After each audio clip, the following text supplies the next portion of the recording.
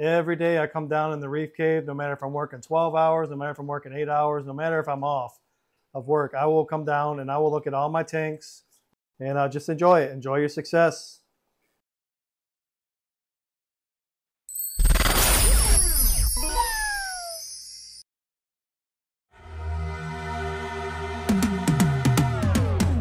Hey, what's up, reefers? I'm Reefer Matt. I'm not an influencer or a content creator. I'm just a real reefer like you. I make these videos to share my reefing journey, so feel free to share yours with me, Reefer Matt. Hey, what's up, reefers? I'm Reefer Matt, and welcome back to the Reef Cave. Well, it's been a minute since I did a video. Sorry about that. I've just been real busy at work and had a lot of things to do lately, but hopefully I'll get back on track. Today's video is my top seven tips for a successful reef tank, such as you see here. So let's get to it, shall we? Starting off at tip number seven, research. Make sure you're researching before you buy things. That way you know what you're getting into. You'll know uh, what equipment you got to get.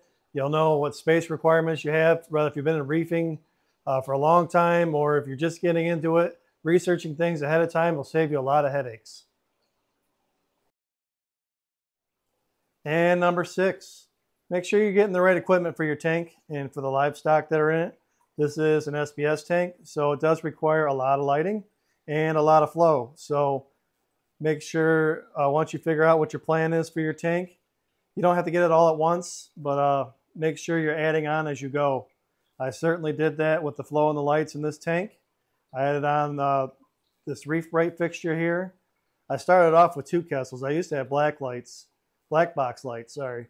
But uh, I switched over to the Kessils because I wanted that Kessil shimmer. And eventually I went to the four lights. And then I had to get this Reef Brite fixture because I was getting a lot of shading in between these colonies. So I just upgraded as I went. I didn't have to buy it all at once, you know, as these coral grew out. But I'll just make sure that you're adapting to your tank's conditions and you're getting the equipment that you need uh, for the livestock in the tank. Hey guys, here's the part where I'm asking for your participation. If you haven't already, go ahead and hit that like and subscribe button. What that does, it lets YouTube know that you like it, and it'll make it easier for other reefers to find this channel too. And I really appreciate it. Thank you. And number five, no impulse buys. What this means is when you're at the store and you're looking at livestock, don't buy one that you think just looks cool and you don't know anything about it. Make sure you do that research and um, know that you have the proper tank and equipment to take care of it. And tip number four, participate. Uh, whether forums are your thing or social media, find a group and participate in the group. You'll learn a lot, you'll make friends, and uh, it makes reefing a lot easier when you're not doing it solo. So I highly recommend finding a group somewhere and participating in the community. And number three, make sure you're looking at your tank. I know this one sounds kind of silly, but uh, a lot of people, they don't look at their tank every day you know, they're busy, they got, you know, a million things going on. But if you run into a problem, you're not going to know it if you don't see it. Every day I come down in the reef cave, no matter if I'm working 12 hours, no matter if I'm working eight hours, no matter if I'm off of work, I will come down and I will look at all my tanks.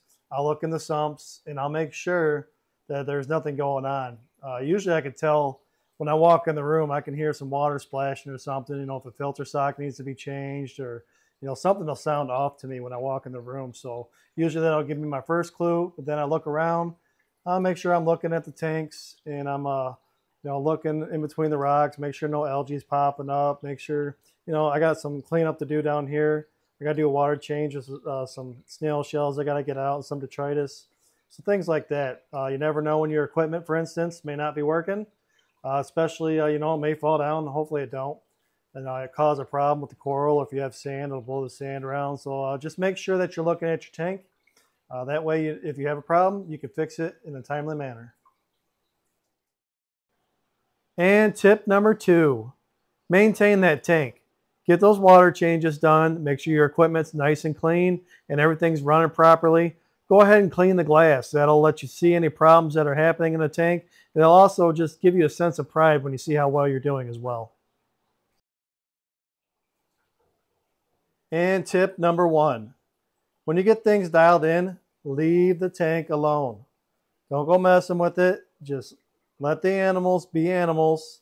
Uh, only interfere when you have to. Try to keep your hands out of the tank and uh, just enjoy it. Enjoy your success and just stay ever vigilant of any problems that may pop up. But uh, once things are dialed in, just leave them be as much as possible. But make sure that you're still watching though, uh, just in case any problems come up again. Well, guys, that'll do it for this video. Up next will be the uh, monthly update video for November. That'll be next week, so I'll see you soon. Happy reefing.